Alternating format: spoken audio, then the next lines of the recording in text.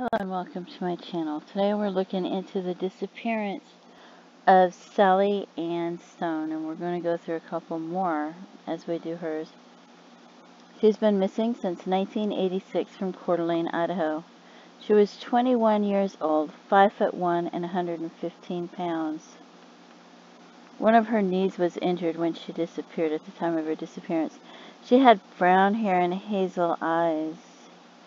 Uh, she has a 5 to 6 inch scar on her ab abdomen, possibly the result of a C-section. A tattoo, she has some tattoos and it mentions them there. She was last seen leaving her physical therapist's office in her hometown. She was getting treatment for an injured knee. She had another appointment, but she missed it. Her husband was in jail at the time. He reported her missing after she did not visit him over Memorial Day weekend in 1986. There was no sign of a struggle at her residence on Elm Street. Her Chevy Nova was parked outside her home with a bag of stale donuts inside. I'm betting that the day she went to buy the donuts was when she went missing, right? Her purse was gone, but her suitcases and clothing were in the closet. There was a new pair of shoes on the bed, newspapers, and had accumulated on her front porch, and in the mailbox was an insurance check and a letter from her mother. They suspect she was taken against her will and she's never been heard from again, but yeah, I'm guessing it was probably about the time she went to get the donuts. And then they have other ones that they think might be connected, and this one Okay, so this one's 1986 and this one's 1986. So this one, Coeur d'Alene, Idaho, 31 years old, 5 foot 4, 130 pounds, blonde hair, green eyes, nicknamed Debbie. She was a special ed teacher. She was last seen near the entrance of Tubbs Hill Trail at 4:40 p.m. They believe she was going there to go jogging. Her vehicle was found locked and abandoned in the 3rd Street parking lot near Tubbs Hill later that day. A Kmart shopping bag was in the trunk and her purse was inside the car, but there was no sign of her. And the car keys were missing, have never been found. She missed appointments over the following two days and was reported missing April 1st. She's never been heard from again. They believe she was taken against her will. Other women have been attacked on the trail where she was last seen, but the attacks have not been linked to her disappearance. That's strange. And then this girl, 1987. So we have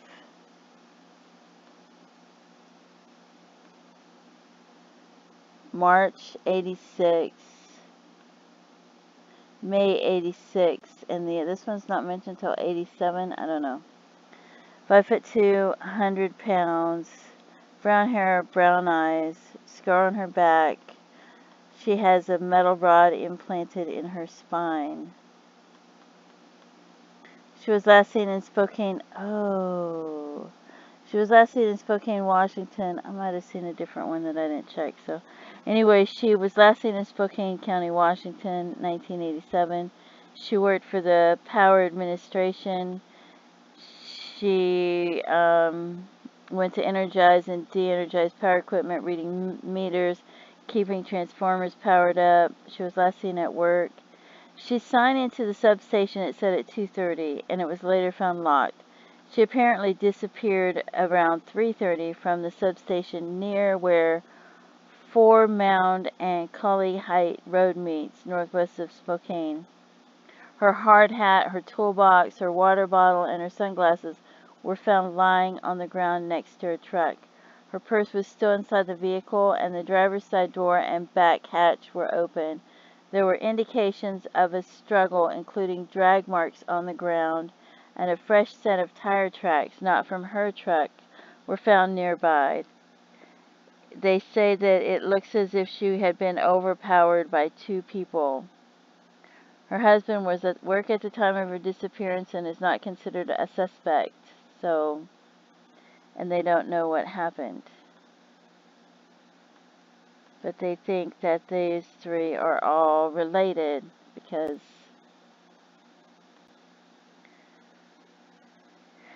anyway, so then I was looking at Jane Doe's trying to figure out who they could be and there's this one but this one didn't die till 1990 and they discovered this person in 1991 so this is a few years later so I don't know how that could be but 5 foot 1 to 5 foot 4 20 to 45 years old.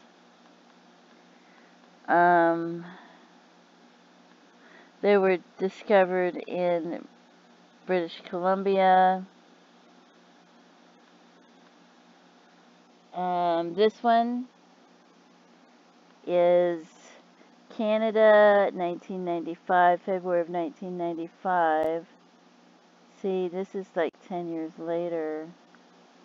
20 to 40 years old, a white female, partial skull on a farm.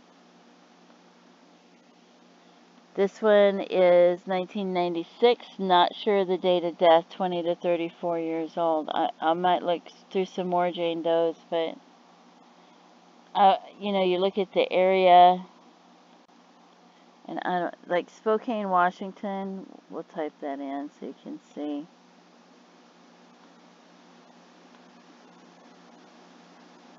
Come on, open up for me.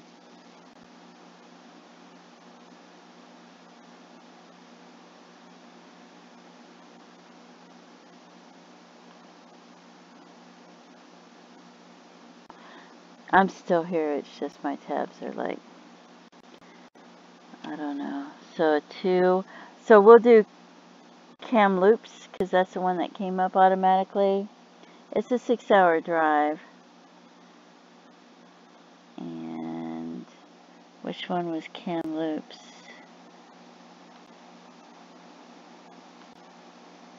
Okay, and then I'll do this one.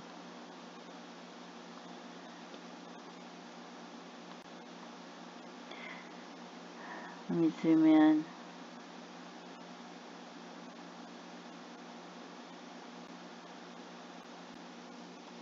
But yeah, you can see there.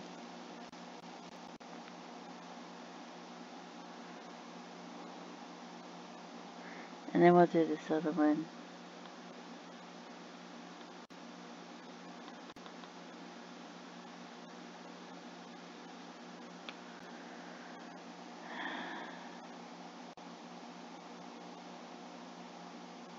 And that's mission.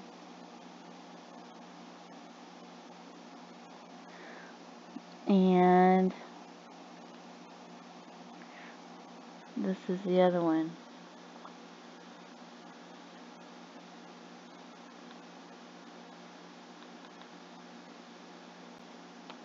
There's there's a bunch there's a lot of Does it could be though.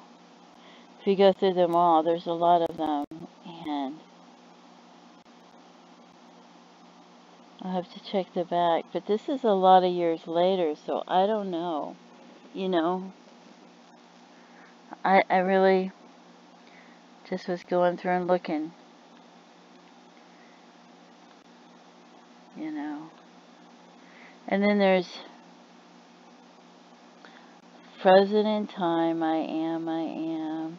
There's this Jane Doe,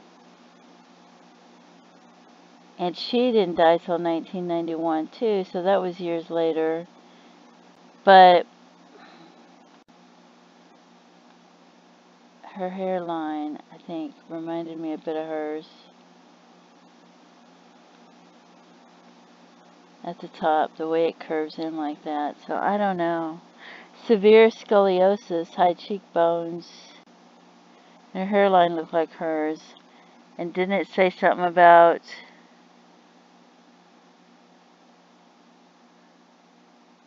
something about a plate in her back or something?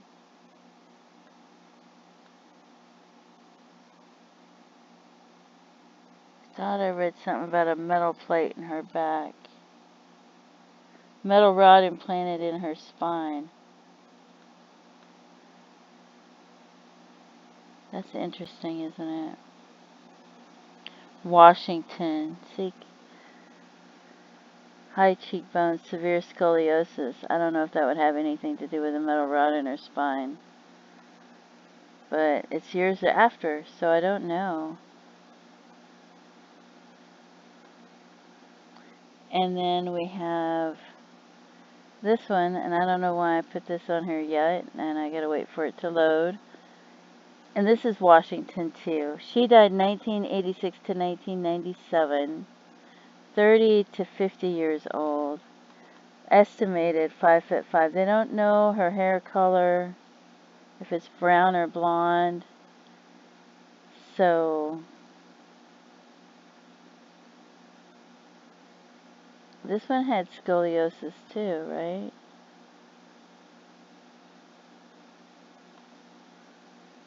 That's strange.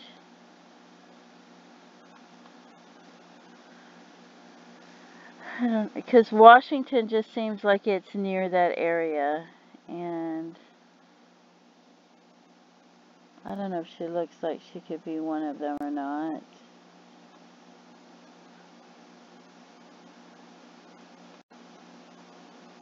but five foot five estimated.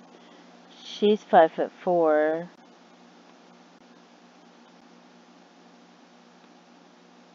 I don't know. You know, there's a lot, there's a lot of Jane Does listed. There's a lot of them. And then you got to go through them and try to find out if they're close to the area and if they're the right height and the right year and eh, there's so many of them, I might go through them again later. But it just makes me feel so sad. You know, you read about them disappearing. You read about the time they disappear, and then you try to think, well, you know, if somebody was going to kill him, where would they take him to? And it seems like, you know, I don't know, would they, you, you just don't know what somebody's thinking like. You don't know if they would take him across the county line or if they would take him to a cabin or somewhere. You know, you just don't know. You just don't know because it depends on what they have access to, and I don't know. It's just heartbreaking. It, it just thinking about it, it just makes you so upset. It's just so upsetting just thinking about it. But then we have these three girls that nobody knows what happens to them. And if you have any information, there's phone numbers. Whether you, if you're not even sure if it's relevant, give them a call, let them know. Let them decide if it's relevant or not. You know? Because it's, it's, it's really sad that these cases are still open and nobody knows what happened to them, you know? I don't, I don't even know if they're related or not. I think they think they're related, but you know, you don't know.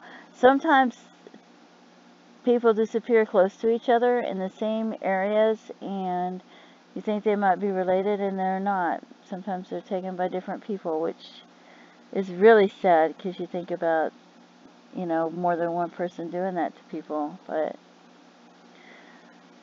she reminds me of that photo of that girl that's supposed to be 15 or 16 years old with the duct tape in her mouth.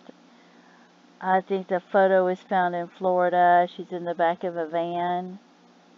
Uh, she looks just she she looks so much like her. There's a girl and a, a boy. There's a teenage girl and a young boy in the back of the van, and the girl's got duct tape on her mouth. And I think they found it in Florida.